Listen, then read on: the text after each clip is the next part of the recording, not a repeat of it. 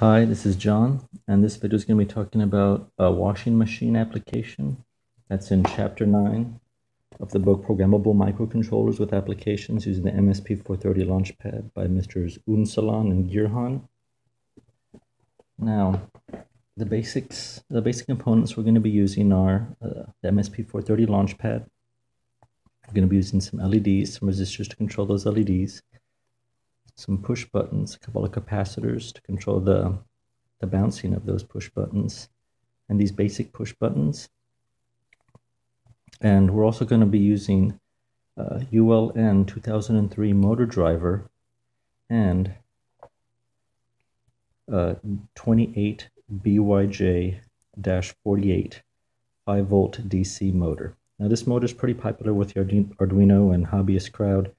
There were a ton of them on Amazon and eBay. Went ahead and picked them up there. Now, as I said, this motor controller is 5 volts. Um, so the project calls for a 7805 voltage regulator.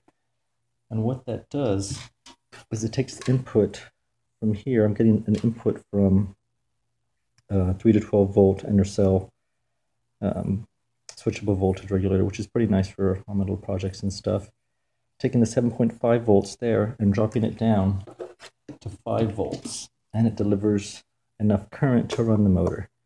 So to give you a little example, go ahead and take a measurement. There's 7.5 volts there.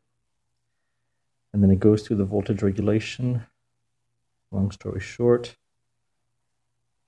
And it hits. Let me get a good there we go. It hits 5 volts there. And it goes to the motor controller and it gives everything that we need. So let's go ahead and talk about the application. These two push buttons here control the, the on and off and the speed.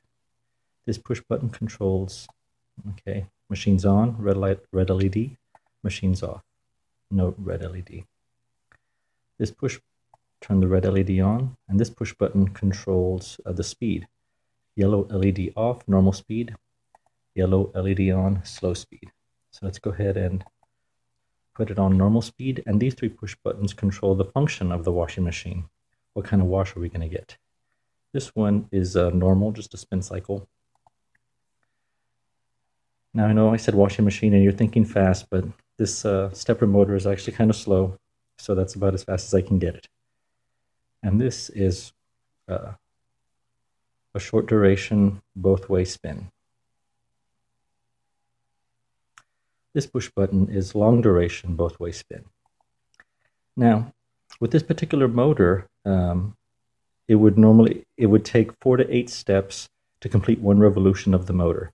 But this particular motor, and perhaps other motors, also have gears. And those gears make it so that it takes anywhere between 2,000 to 4,000 steps to complete a revolution. Now, that was a huge problem because the code in the book only accounted for about 30 to 100 steps, which, with those gears that normally take two to 4,000 steps, I mean, I couldn't see that motor move at all. So I just thought my code was wrong or my hardware was wrong or just something wasn't right. It just so happens that after a while, I finally figured out that I just needed to give more steps to it. And so I gave a, a whole bunch more steps. Um, and I finally get some good revolution out of it. So if you're doing this project, having some trouble, or perhaps with your own motor controller, stepper motor project, and you're wondering why it's not working, you might uh, just need to add a couple thousand more steps to finally see it move. And that's a little tip that I learned there. So we did normal speed, gonna go ahead and do, uh, turn on the yellow LED, gonna get some slow speed. All the functions are the same, just at a slower speed we'll just do one slow speed because you know none of us have all day. We got things to do, places to see, and stepper motors to control and program. So as you can see, the stepper motor is moving. And once again, this was the washing machine application, uh, MSP430 Launchpad application. Hope you enjoyed it. If you have any questions, go ahead and leave them in the comments. And have a good one.